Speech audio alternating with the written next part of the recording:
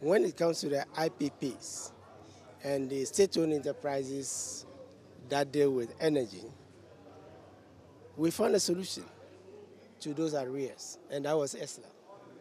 In fact, part of the ESLA flows was to be used to resolve the problems of the IPPs. Because I'm not going to go into, you know, who caused what and the rest, which we have been debating, you know, but the, the arrears was there, right? We know today, and we started using it. So, for example, tackle VRA debt, you know, which, why VRA? Because during the Dumsor crisis, it was VRA, you know, because of the lack of supply of gas from Nigeria, they had to buy, you know, crude oil at expensive prices to generate the power. And all the IPPs produced, you know, they were not paid. So ESLA was to resolve that.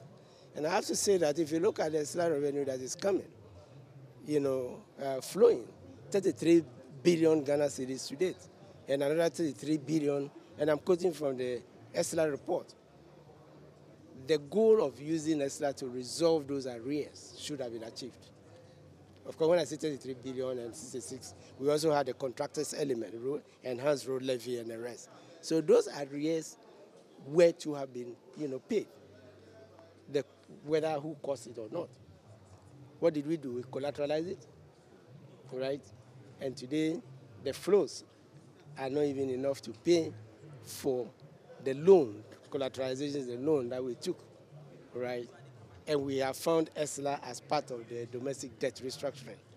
So, so this is the point I'm making that we should just remain faithful to the goals and ideals. And remember, ESLA was debated in Parliament extensively, and it was it would have taken three to five years, including the IPPs.